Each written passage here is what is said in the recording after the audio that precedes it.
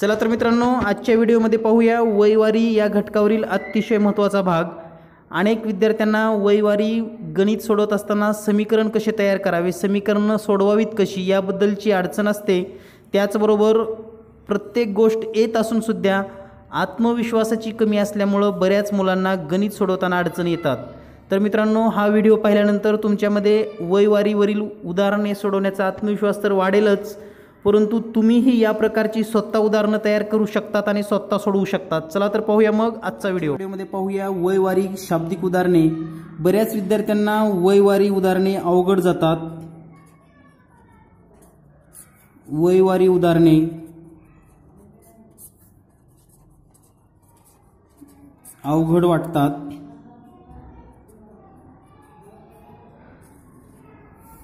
त्याचबरोबर शाब्दिक उदाहरणं तयार करताना अडचण येते.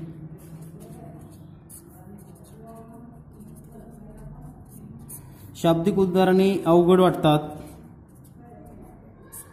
तर मित्रांनो या व्हिडिओमध्ये पाहणार आहोत आपण वैवारी उदाहरणे सोडवत असताना नेमकं कोणत्या पद्धतीनं गेलं पाहिजे?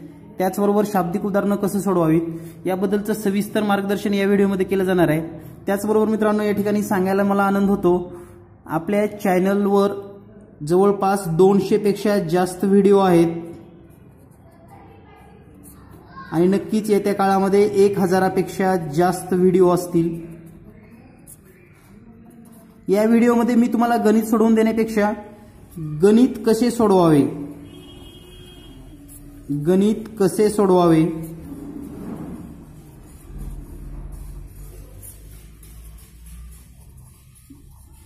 याची माहिती देणाऱ्या मित्रांनो म्हणजे गणित मी सोडवून देण्यापेक्षा तुम्हाला स्वतःला सोडवता आले पाहिजेत समीकरणं तयार करता आली पाहिजेत.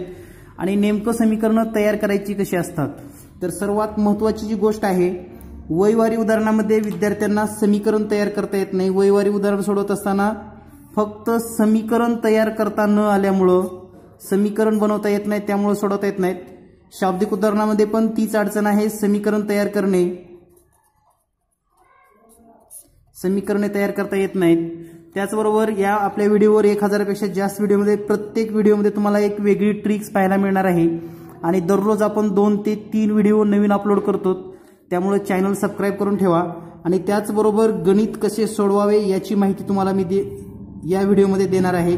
तर या आजच्या व्हिडिओमध्ये पाहूया आपण वैवारी या संदर्भामध्ये समीकरण कसं तयार करावं याबद्दलचं सविस्तर माहिती. तर मित्रांनो या ठिकाणी आपण वैवारी व शाब्दिक उदाहरणे सोडवण्याच्या छोट्या छोट्या पद्धती या ठिकाणी पाहणार आहोत. म्हणजे तुम्हाला वैवारी यावरील गणित शंभर टक्के सोपे कसे होतील यासाठी मी प्रयत्न करतोय. तर नेमकं पाहूया नेम वैवारीचं उदाहरण सोडवत असताना विद्यार्थ्यांना काय अडचण येते? समजा साधं उदाहरण आहे समीकरण कसं लिहायचं यापासून आपण माहिती घेणार आहोत मित्रांनो.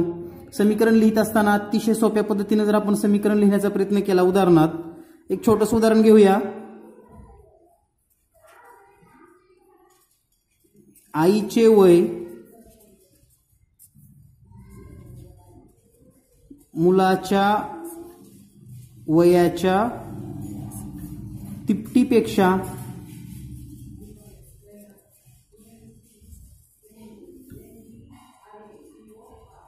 चारने जास्त आहे. व त्यांच्या वयाची बेरीज.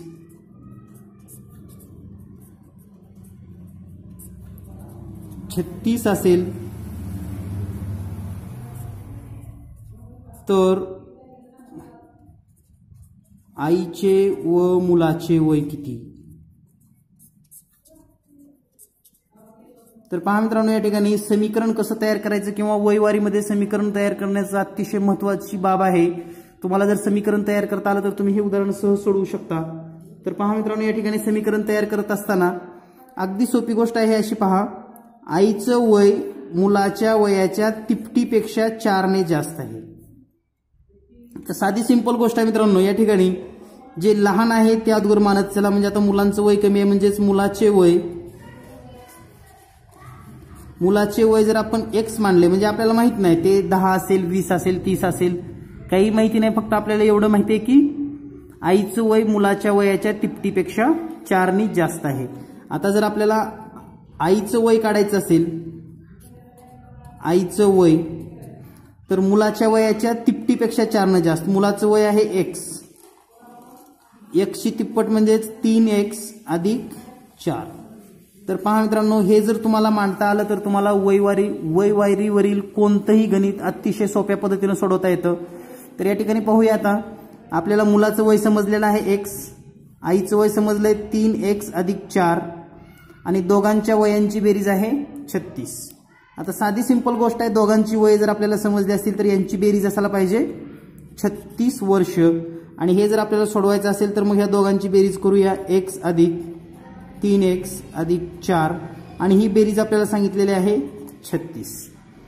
तर पहा मित्रांनो या ठिकाणी बेरीज करत असताना एक्स आणि एक्सची बेरीज होईल. म्हणजेच या ठिकाणी काहीच नाही म्हणजे एक एक्स असेल एक एक्स आणि हे तीन एक्स दोन्ही मिळून झाले चार एक्स अधिक चार बरोबर छत्तीस. आता हे चार जर इकडं मायनस केलं तर चार एक्स बरोबर छत्तीस वजा चार बरोबर बत्तीस म्हणजे चार एक्स बरोबर बत्तीस. आणि आपण जर हे सोडवलं तर आपल्या लक्षात येईल एक्स बरोबर बत्तीस भागिले चार. हे जर आपण सोडवलं तर या ठिकाणी आपल्याला उत्तर मिळेल चार एक चार चार आठ बत्तीस म्हणजेच आठ. एकची किंमत आलेली आहे आठ. म्हणजे साधी गोष्ट आहे मित्रांनो या ठिकाणी यक्स म्हणजे आहे आपल्या मुलाचं वय आणि मुलाचं वय असेल आठ वर्ष. तर आता आईचं वय काढूया आपण. आईचे वय बरोबर तीन एक्स अधिक चार म्हणजेच तीन गुणिले एक्स म्हणजेच आठ अधिक चार. आठ त्रिक चोवीस आणि चार अठ्ठावीस इयर.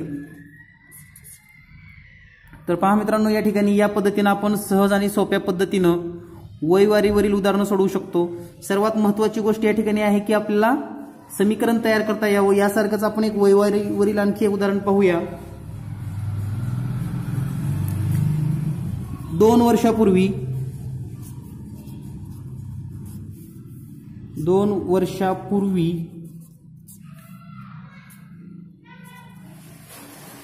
दोन भावांच्या वयाची बेरीज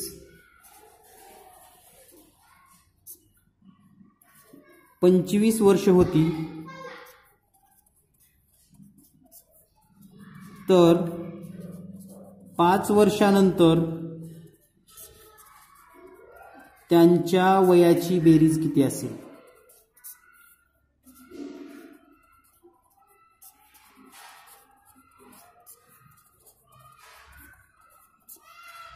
तर पहा मित्रांनो हा जरी प्रश्न सोपा असला तरी या ठिकाणी सोपे प्रश्न घेण्याची कारण अशी आहेत की तुम्हाला गणित समजावं आणि तुम्हाला गणिताची डेअरिंग निर्माण व्हावी आणि तुम्हाला पण असं वाटलं पाहिजे की अरेच्या यासारखी तर गणित मला पण सोडवता येतात. हा जर कॉन्फिडन्स तुमच्यामध्ये निर्माण झाला ना मित्रांनो गणित अतिशय सोपा विषय आहे. तर या ठिकाणी पहा दोन वर्षापूर्वी दोन वर्षापूर्वी बेरीज जर आपण विचार केली तर ती आहे पंचवीस. आजची जर बेरीज आपण काढली आजची आजची बेरीज जर आपण लिहिली तर मित्रांनो आपल्या लक्षात यायला पाहिजे हे पंचवीस वर्ष आधीचे. पुन्हा एकाचं दोन वर्ष वाढलं आणि दुसऱ्याचं पण दोन वर्ष वाढलं. तर एकूण किती व्हायला पाहिजे? एकोणतीस वर्ष. आणि आता आपल्याला कधी विचारले पाच वर्षानंतर. तर पहा पाच वर्षानंतर काय परिस्थिती असेल? पाच वर्षानंतर दोघांचंही वय पाच पाच वर्ष वाढलं असेल म्हणजे एकोणतीस अधिक पाच अधिक पाच म्हणजेच एकोणचाळीस. तर त्या दोघांची बेरीज पाच वर्षानंतर असेल. एकोणचाळीस. तर मित्रांनो या प्रकारची छोटी छोटी उदाहरणं तुम्ही तयार करा. हे उदाहरणं तयार केल्यानंतर सर्वात महत्त्वाचं आहे तुम्हाला यक्सची मांडणी करता येणं. त्याचबरोबर वयवारीमध्ये काय सहसंबंध असतो? वय वाढतं कसं? पाठीमागचं वर्ष किती नंतरचं वर्ष किती? या पद्धतीने जर तुम्ही सोडवत राहिलात मित्रांनो तर अतिशय सोप्या पद्धतीनं वयवारीवरील तुम्हाला कोणतेही उदाहरण सोडवता येणार आहे? त्याचबरोबर आपल्या चॅनलवर वयवारी आणि समीकरणे. हे दोन व्हिडिओ आहेत हे व्हिडिओ पाहून घ्या. नक्कीच तुम्हाला समीकरणाबद्दल सविस्तर माहिती मिळेल. धन्यवाद. थँक्यू मित्रांनो. व्हिडिओ पाहत राहा. दररोज स्वतःचं ज्ञान अपडेट करा. नवीन नवीन गोष्टी लिहून ठेवत चला. स्वतःच्या नोट्स तयार करा मित्रांनो. धन्यवाद. Thank you very much